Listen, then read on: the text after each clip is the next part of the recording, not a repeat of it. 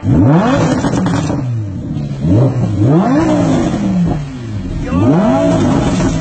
that's so angry, guys.